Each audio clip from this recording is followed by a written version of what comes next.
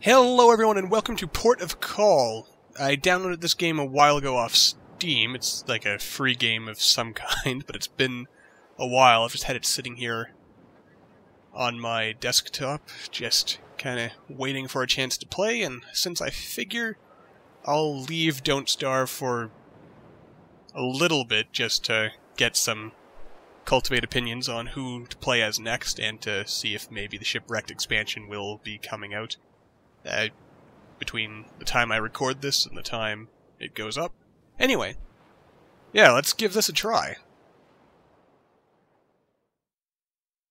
Alright, so keys to work, left click, okay, simple enough. Okay, so. Alright, just moving around here. So as I recall, you're on some kind of ship, and I think the implication is that you're helping lost souls or something of that nature. Who wants this? Broken lantern. Lantern looks broken, no point in messing with it. Okay. Oh, hello, sir. Or madam. Can I help you? Howdy. Oi!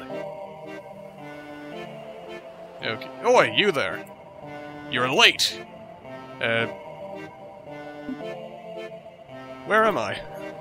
Think you know perfectly well why you're here. On board with you. I'll see you in the Get bridge. Whoa.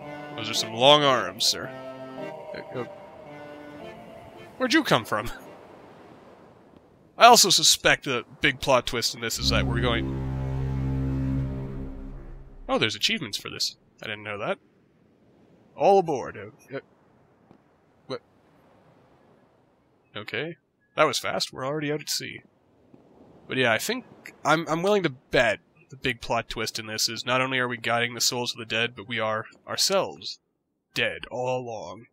Lines and shapes. Wouldn't have pegged him as an art guy. Once again, doing air quotes that you can't see. Someday I will get a web camera. Globe. Maybe we're out in the middle of the Atlantic. Who knows? But yes, we will have to wait on the webcam. Oh, cool. Oh no. No, I. Oh dear. Apparently I can take every single one of these. Oh, what's this? Captain's log. This grouch doesn't seem very expressive on paper. Can I open it? No? Apparently not. Rotary phone. It's a shame this thing is an antique. That is pretty cool. Oh, lighthouse. Wait a minute. So the the dock just just disappeared, and you're just kind of standing there. All right. Oi! Boy to you as well. All right, to business. I assume you know how to do your job. Get to it then. I'm the captain of this here hunk of scrap, and I'll have no more dilly dallying. What are you talking about? Great. They've sent me another idiot. Haven't the time to hold your hand while you learn to pick your nose. I have a ship to run. I guess I can start you off with a simple task, though, if it's not too hard for your wee little brain. I almost want to give this guy a Scottish accent now, but I'd probably just offend Scotsmen everywhere if I attempted that. There's a little girl in the first cabin on the left. Go get her ticket. Little brat won't let me come within a foot of her without squealing like a babe. Come back to me when you're done. And if you're feeling a bit lost, feel free to come back and chat. I'll take care of you. Heh heh heh heh. Okay. So what do you want to bet this is all Grim? Mm-hmm. What is it? You get that brat's ticket already? Uh, will I ask questions later? So long. Um, hello? Interesting, interesting. Yeah. Is there a run button on this, by the way? I don't think so. This is presumably a walking simulator-esque type game, where general idea is to walk around and just absorb the story. Ooh, floating book. Hey there, little girl. Oh my. You know, that face kind of reminds me of Hexadecimal. Anyone remember Reboot? Way back in the 90s? Well, not so much now that I see it all, but it did for a moment. ah! Don't eat me! Oh, who are you? The ferryman sent me. Yes, don't pay the ferryman until he gets you to the other side. The boogeyman sent you. Are you going to eat me? Mm, I... I just... I'm just here for your ticket, kid. I'm not a kid. I hate it when Marcus calls me that. Who's Marcus? I'm almost six and a half, thank you. Are you a scary friend of the boogeyman? He's a grouch, but he doesn't look like a monster. He stomps around and makes weird noises. That's scary. And weird. Yes, it is. Uh, speaking of weird, why are you here by yourself? I'm not sure. Thinking about it makes me feel funny. Oh, I was playing with Teds. Who is Teds? Ted's the teddy bear, probably? Yep, bestest bear in the world. My best friend. Last time I saw him, we were playing together and hiding from Marcus. Can you find Teds? I'll give it a try, but, uh, who? Hello? Ooh. Grandfather clock. Ugh, ticking on these things always drives me nuts. Doesn't it just? Toy chest. There's something creepy about this chest. I can't jump, as far as I know. Viridian crayon? Mirror. Cutesy, but it doesn't do its job. That's true, there's no mirrors here. Oh. Lollipop. You! Looks like someone dropped their lollipop. Don't think anyone's gonna eat it now. Can I, uh, just... I'll just drop you in there. Hopefully that did not cause any problem. Cerulean crayon. Oh, it's a ball in a cup. Too many hours are spent playing this game. Let's, uh... Excuse me, sir. In you go. Can I pick you up as well? In you go. Time to put all the toys away. Oh, what, what's it say? Choo choo, I guess. Bit too old to be playing with toys. Oh, you're never too old to be playing with toys. That's just what old people or something want you to think. Doesn't look inhabited. Oh, that's a shame. What's with the floating... Oh, hello.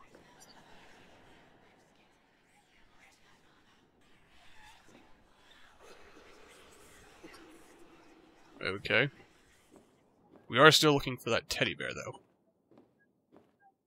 Ooh, what's going on over here? A writer, huh? This handwriting is strangely familiar. Is it yours? Was I a writer? In life, but then I died a horrible, horrible death. After failing to pay the bills? Who knows? Okay. Oh, bouquet of flowers. How pleasant.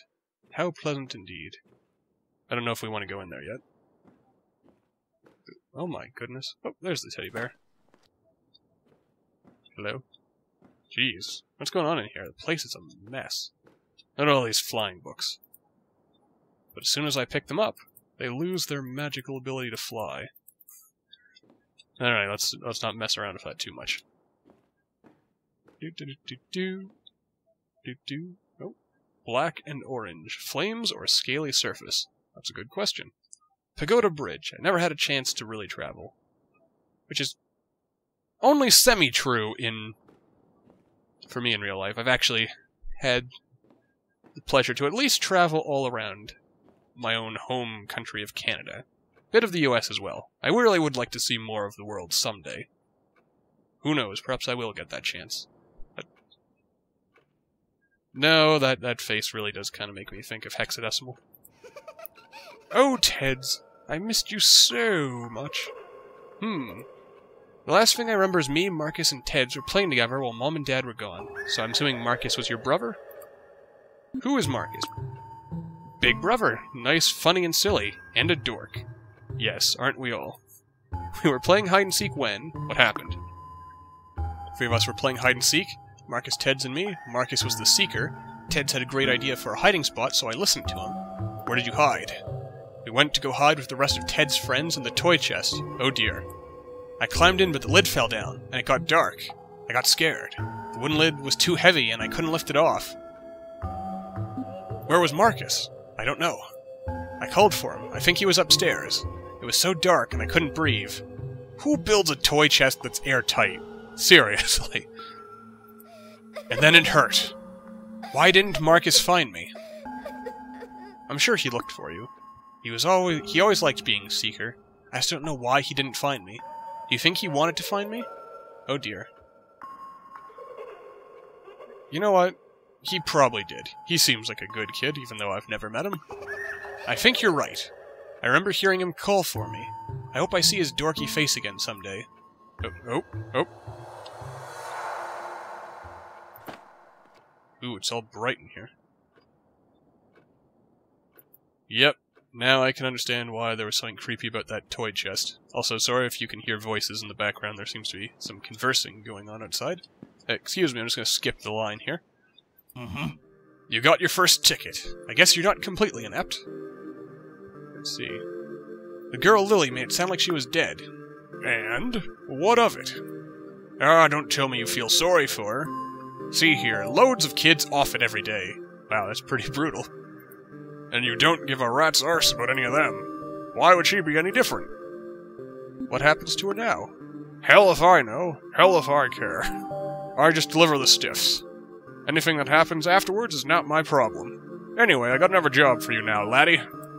Use the lift at the end of the hallway, and go talk to the drunkard in the bar. I can't understand a thing the fat man says. And I don't have time for any more of your stupid questions. I really am tempted to attempt giving this guy some kind of Scottish sounding accent. But I will refrain. Then again, maybe I could pull it off. I don't know. Probably not very well, but it might be amusing. Going up! This is a really classy boat, isn't it? Hello, hello, hello, everyone. Ooh. Abstract flowers. At first glance, I thought it was just a painting of crumpled paper. Does look kind of like crumpled paper, doesn't it? Doodly doo doo doo. Ooh. Well, what's this? Ooh, a jukebox. My favorite. Play the next song on the juke. Okay. Oh, that's terrible. No list of songs, I'll have to try my luck. Ugh. Oh.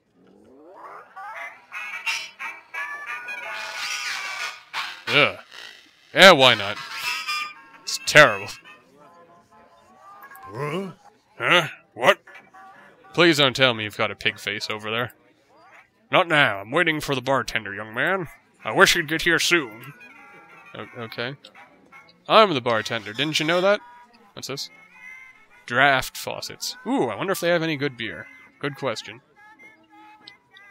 Ooh, I hope that doesn't get copyright claimed or something over there. That'd be awkward. Now this is vinyl. Oh, There you are.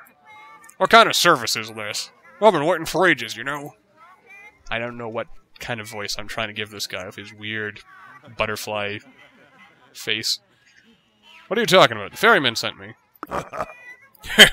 Did he now?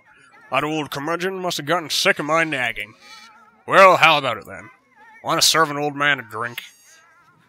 I'll play along, I guess. What do you want? Cheers. Let's see, how about we start with something simple?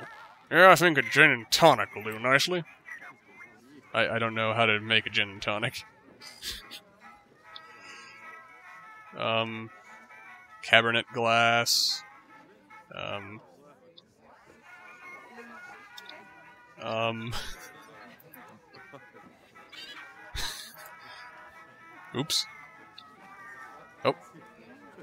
Bearded Sailor, Juniper Delight, Simple Quinn, William Orange, Potato Riot, Bearded Sailor, Juniper Delight. Not your pop soda pop. Um. Don't. I don't know. Um. Nope. Here. Um. Hard of hearing? Gin and tonic, please. Um, I, I would gladly if I knew what gin and tonic was. Okay. Orange juice. Okay. Completely ruined that. Ugh. It's not what I asked for. Bad barkeep. Come on now, son. It's not that hard. Try again. Okay. Um, bearded sailor. And pop? Mixed cola with tonic. Okay, so I've. Okay. Okay, so that's rum. That's gin. Oh, that's tonic. Oh, thank God. I wish they just called them what they were. You said gin and tonic. Picked up the gin. Picked up the tonic. Gin and tonic. That's the stuff. Now then, why don't you tell me about yourself? Ferryman told me everyone on the ship was dead. Do you think I'm dead? well, you don't look quite dead to me, son. If that's so, you're in pretty good company. Most everyone on the ship's been dead for some time now. Well, except for the grouch in the raincoat. No one's quite sure about him. Do you remember how you died? Ah, uh, that's a story I've not told in a long time. And not one with a particularly happy ending either. Sure you want to hear it? Go ahead. I, uh, had a daughter once, a long time ago. Suffice to say, she died in an accident when she was young. Uh, my wife followed her soon after. Died of a broken heart, I guess. It's only me and my son then, and well, I took to drinking. Eventually did me in. Anyway, you know what they say. You can only drink yourself to death once. Cheers. Okay. Uh, how do I know if I'm dead? That's a question only you can answer, son. It's different for everyone. Give it some time, though. I'm sure you'll figure it out. Now then, how about another drink? Think I'm feeling some old-fashioned rum and cola this time. Okay. This was the... Was this the rum? No, it's... Rum... Co cola. Co okay. So, rum and cola. Okay. That's what I'm talking about. I'd tip you. Well, if I had any money, that is. Now, what were we talking about? Look, I can't remember anything before getting on this boat. I can't even recall my name. Oh. Oh, I wouldn't worry about that too much. Things like that have a tendency of floating back around. Get it? Floating because we're on a boat and, uh... Ah, never mind. Anyway, I think it's time for another drink. Why don't we get a little fancier? How about some vodka with orange juice? Okay. Um, potato rot. Well, I know that vodka is potato, or is made from, um, potato. William Orange is some kind of orange juice. Now I'm thinking with the old noodle. Hmm, that's some strong drink. Thanks, Marcus. I think I'm gonna take a nap now. Wait, what did you call me? Wait, am I Marcus? Wasn't that that little girl's brother? Right, let's uh, take up Horace's ticket. And there's someone over here. What's going on here? Uh, okay. Going down. It's also probably about time to wrap this episode up. I think this is going to be a two-parter at least.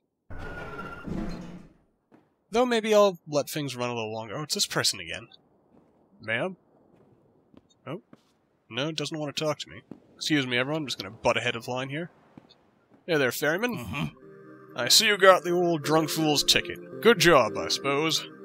Right. Well, I don't have time to humor you every fancy right, or humor your every fancy right now. Choppy wires require my full. Wait a minute. The hell's that woman doing out on the bow? Oi, you there! Get off me bow! You're blocking the view. Bloody girl's not listening. Get out there and get her to move. I think I almost went for some kind of vague attempt at a... What am I thinking? A Cockney accent there for a split second? Hello, ma'am? Hello? Ooh, that's a real hexadecimal face right there, all mask-like. You're the first person I've seen on this ship who doesn't look dead. But your face is blurry. Why are you here? Could ask you the same question. Excuse me, lady, I need your ticket. I've waited here for so long I've forgotten the need to speak. But you were just speaking. It's been difficult now. I'm waiting for someone to board the ship, so I've been holding on to my ticket. Someone? Yes. I can't remember exactly who he is or how he will get here, but I will wait for him. I just can't remember what he looks like. Have you tried walking around and talking to people? Spoken for everyone I know on the ship. They are innocent, delusional, and pessimistic. I believe one is a shadow of the person I'm looking for. Are you talking about the black silhouettes? I mean shadow in a more figurative way. Those people that you cannot see are people you do not know. Oh. This person is someone I know, but he is not his whole self. Interesting. Yes, he is missing a large part of himself. His shadow feels like the embodiment of negativity. His mask haunts me. Did this person help you remember who you were looking for? I didn't speak to him for long. He didn't have anything helpful to say, mostly hurtful. I could not see his face, as he was wearing a mask like the others. Oh, is everyone wearing a mask? He does not sound very nice. I don't think I've met the guy. He's not very nice. I don't think you would have. He's below the main deck in the boiler room. How'd you get down there? The lift only goes up. Elevator is a little strange. Sometimes it works and sometimes it doesn't. Could you get me down there? If only I could. I can hardly move anymore. That's a... that is a load of lies. this mask weighs on me so. What's up with the masks anyway? Masks seem to be our new identity as we travel on the ship. I don't feel like my body has any weight, but the mask burdens me. Ah, getting into some philosophical stuff here. Feels heavy in a way I've never felt. I don't know how much longer I can stay. Think of this person you are waiting for. Who is he? He was the one who waited with me in the hospital. I don't know how long I've been here, but it seems like I'm more familiar with this ship than any place else. Hmm. When I think about him now, I see the mask of the man in the boiler room. I don't know why, but it torments me. Maybe the ferryman has answers. No. He can't help me. Find the boiler man. I'm not going to last much longer. Marcus. Dun dun dun. And this is Alice. So, everyone seems to be tied to Marcus in some way. Lily, Horace, Alice, whoever's in the boiler room. Are we Marcus? Huh? Spoke to her, did you? Bloody annoying, isn't she? At least she's out of the way. Well, don't you have something you ought to be doing? I'm busy here, and you have business downstairs. Go on, get. Alright, so we will be doing that. I hope... I'm not sure if there's actually a save system in this, but uh, I'm gonna cut this video here, I reckon. So, for now, thank you all for watching. Don't forget to like and subscribe if you haven't done so already. Your support really does mean a lot. And, you know, let me know in the comments what you think about this game so far. I'm finding it pretty interesting. And when we come back next time, we'll be heading on down to the boiler room. See you then.